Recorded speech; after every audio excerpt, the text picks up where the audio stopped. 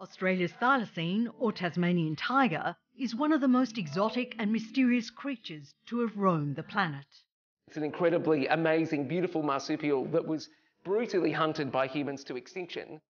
But now a world first. This will be the, the foundation of bringing the thylacine back. A team of Australian scientists, in collaboration with a US genetic engineering company, are promising to resurrect it. So, possibly in the next five years. I think that's a really good assessment. Their ultimate goal to return it to its native environment. It was the only marsupial apex predator. Bringing that animal back would have incredible benefits for the ecosystem. But the $15 million project is already sparking fierce debate. So many species in Australia are threatened with extinction. To spend a lot of money doing something that is unfeasible is a missed opportunity. If they succeed, it will be a freak show. The animals will be so valuable. There's no way you can let them free range. 101 East travels to what was once thylacine heartland and talks to the scientists and their critics about the ambitious project to bring it back to life.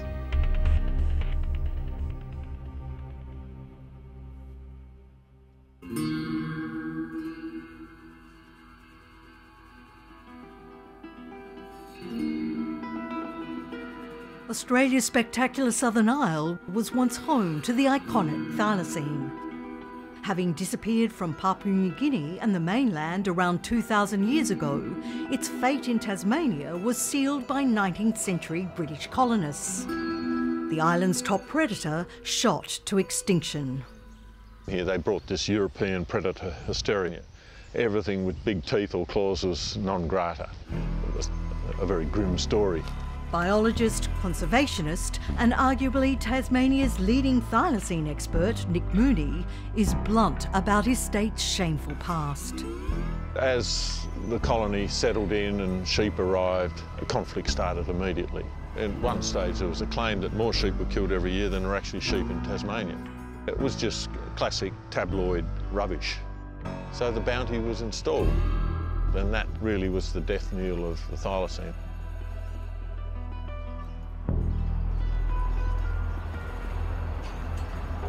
The thylacine population was wiped out within little more than a century after British colonists arrived.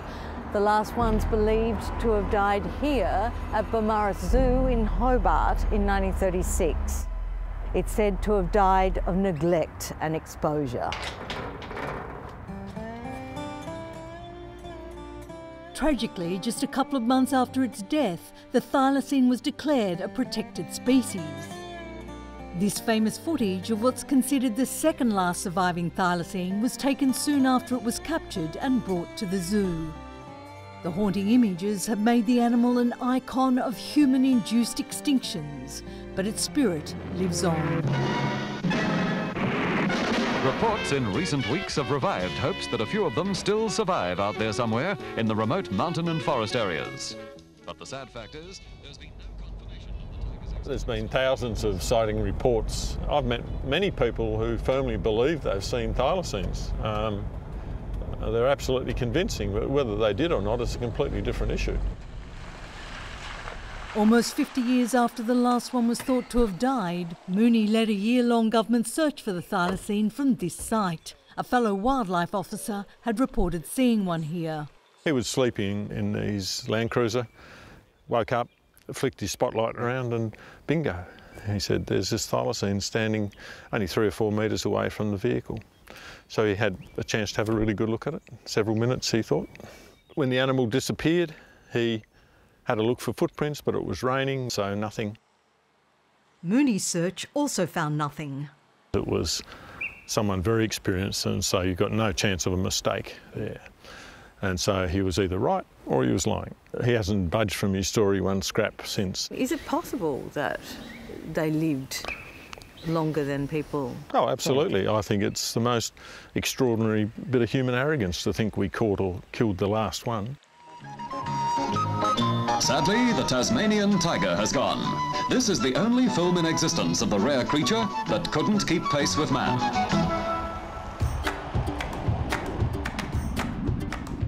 Known colloquially as the Tasmanian tiger, or Tassie tiger for short, the thylacine is indelibly etched in Tasmania's identity, adorning number plates and attracting tourists, small towns trading on it. In 1984, Mole Creek was the site of the last official search for the thylacine, but I'm on my way to meet some locals who say they've seen it since then and believe it's still out there.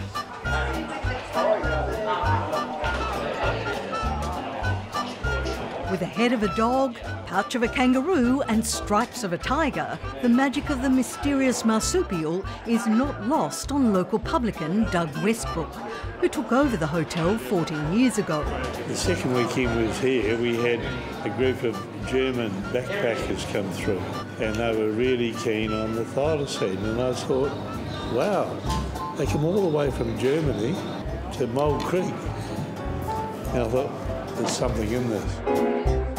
And like many of his patrons, he says, I believe I saw one. Yeah. My wife will say she definitely saw it. I've had several encounters. For old timers like Joe and Lexi, memories of the tiger haven't faded. Well, my father used to snare back in the mountains, and he used to often talk about the Tasmanian tigers. I used to torment my mother. I'd say, um, there's a Tasmanian tiger on the road. Oh, yes, another one. Well, this day I said, there's a Tasmanian tiger on the road. The closer I got, the more I could see that it really was. Though he was wet, you could still see the black stripes up him. A younger enthusiast says he's not only seen one, it just shot out of the bush straight across in front of us and to the other side. but as video evidence. We put the camera where the tiger went in through daytime, and a couple of nights later he come back out. So, see it rise up there. Oh, that's it. Yeah. Just there, not this. No, not that. Ah. That's his tail. But alas, it's hard to see anything. Unfortunately, We had the camera too high. Social media abounds with blurry photographs and videos posted by tiger hunters claiming to have captured images of the elusive creature. While experts rebuff them, the true believers are not deterred. Yes, I'd say it probably is still around. Scientists don't know everything, and I'm certain that there's. All my mates condemn me for it, but I, I still reckon they're out there.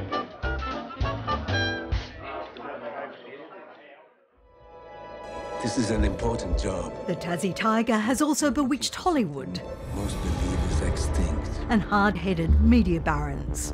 America's Ted Turner offered a $100,000 reward to anyone who found one. And Australia's Kerry Packer upped the ante to more than a million dollars, all to no avail. But now an American genetic engineering company is vowing to reverse the course of thylacine history. The vast mammoth steppe of the Pleistocene era. In late 2021, Colossal announced a project to attempt what humans have never done bring back an extinct animal. Woolly mammoths, now long extinct, once roamed these northern landscapes in large herds.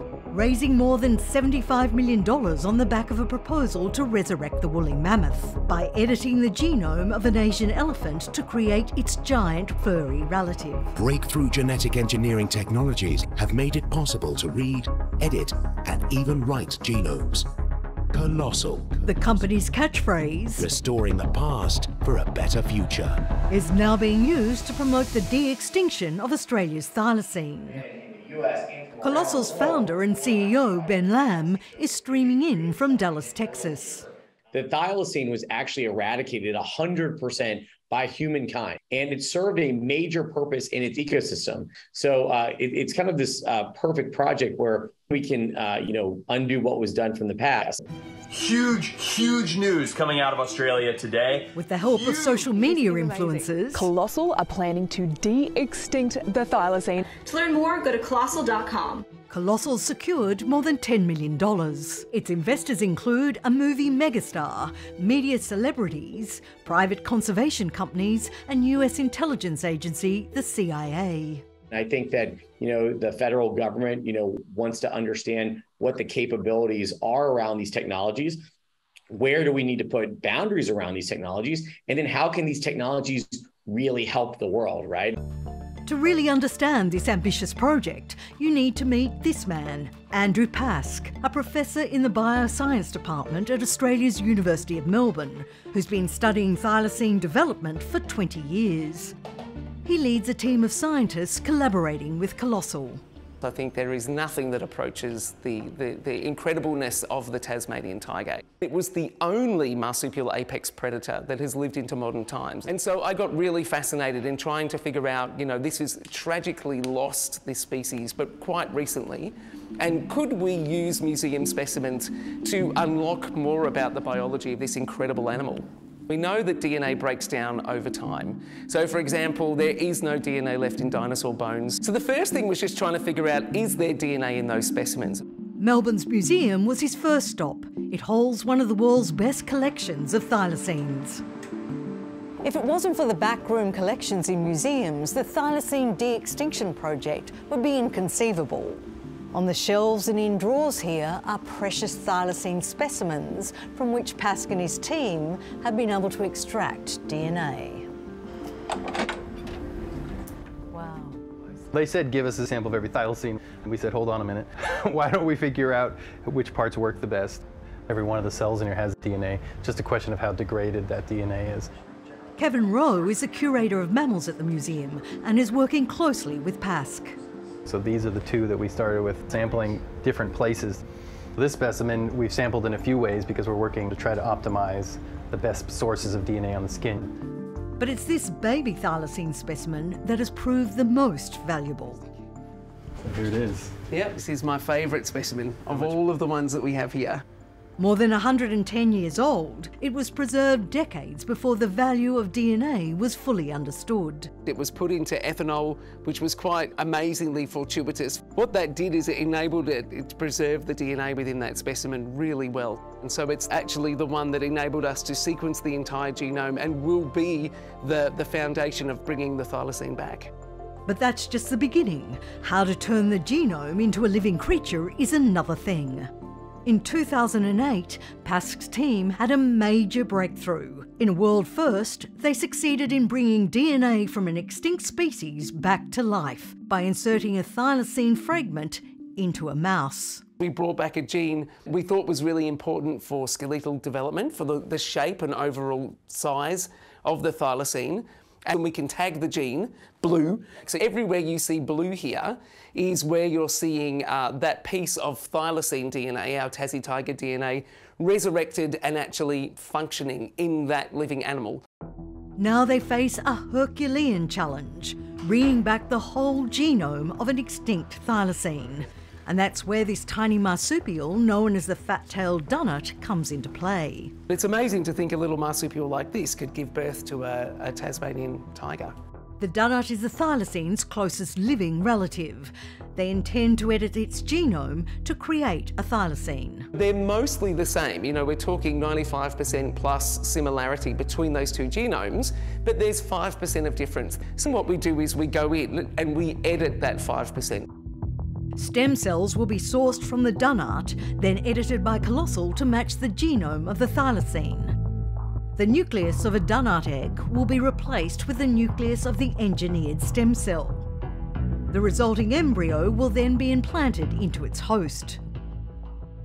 One of the great things about marsupials is they all give birth to tiny, tiny babies. They're about the size of a grain of rice. What that means for us is that even that little mouse-sized fat-tailed dunnart can give birth to a baby Tasmanian tiger, even though it's going to massively outgrow the mum after birth. These CT scans of rare baby thylacine specimens will then become critical. We can actually map out their developmental trajectory to make sure that that final animal we get is going to be developing correctly along those pathways. And if it's not? then we would know that we're not recreating the thylacine so we can stop those experiments, go back, have a look at what other bits we can change and then create the next one and have a look at how that one's developing. So really, until it's born, you won't know what you're going to get? The whole goal with this project is to edit that genome to be 99.9% .9 thylacine, but we don't know how big a difference that 0.01% might make, but it will definitely be a thylacine. And definitely have stripes? I hope so. I feel like we failed if it's not stripy. According to Pask, it will be at least 10 years before a genetically engineered thylacine cell is produced. But Colossal CEO is much less circumspect. We put a very big ambitious goal out there for the mammoth of you know five to six years. Uh, and elephants have a 22 month gestation. Uh, given that our, our model organism, the fat-tailed Dunnart, has a 14-day gestation, which is obviously significantly shorter, I think that it's safe to assume that we will um, hopefully see one before we see a mammoth. Um, that kind of gives you some idea of time. So possibly in the next five years. I think that's a really good assessment. But at Sydney's Australian Museum, the assessment of the thylacine de-extinction project is far from good. The project is fanciful. I guarantee you that in 10 years from now, that animal will not be running around Tasmania. This is not going to happen. Chris Helgen is a museum's chief scientist. He finds the use of the Dunnart farcical. Does that look anything like a thylacine to you? And not just because of the way it looks. It's not closely related to the thylacine. It's about as close as you can get amongst modern species, but the thylacine is so different from all other marsupials that it's in its own family. The question is, could you ever modify the DNA of this animal to get it anything close to becoming this animal? I say absolutely not. It would be something a bit like a dog to a cat, like a horse to a rhino. Could you possibly turn an elephant into a mammoth? Maybe it's just possible because they're so closely related. And we know a lot about the biology of elephants, so we have something to go on. With thylacines, we're missing all of that ground information. And Helgen contends that even if something is produced, it won't be a thylacine. The outcome will be some kind of genetically modified Dunnart. That's not a thylacine. It's a pronouncement that doesn't appear to worry Colossal CEO.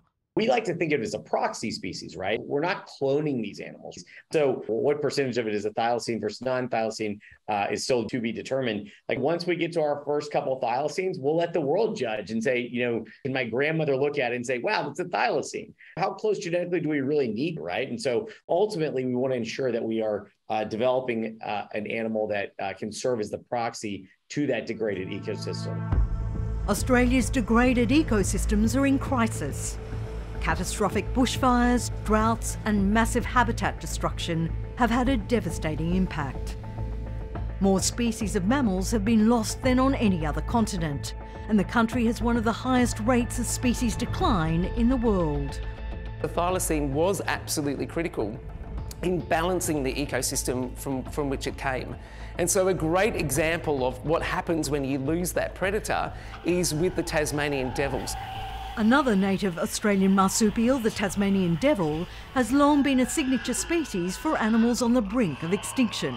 A contagious and deadly facial tumour wiping out some 80% of the population. Now, if the Tasmanian tiger was still around, it eats those sick and injured animals and it removes them from the population before they have a chance to spread that disease. So we think that bringing that animal back to Tasmania would have incredible benefits, not just for the Tasmanian devil population, but for all sorts of unforeseen parts of that ecosystem.